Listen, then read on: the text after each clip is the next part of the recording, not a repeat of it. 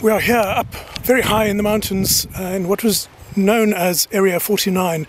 Um, the, the, locals have brought it to our attention that there were explosions and, and strange sounds, hissing, and, um, and, and they found this crater. There was a flash during the night, and uh, they found these artifacts embedded in a small crater in the side of the mountain. Um, it, it's a very great, great altitude here. We we not we can't stay up here very long. Uh, the area is policed by the local uh, uh, the uh, security people, and uh, the air is fairly thin here, so we have to move down.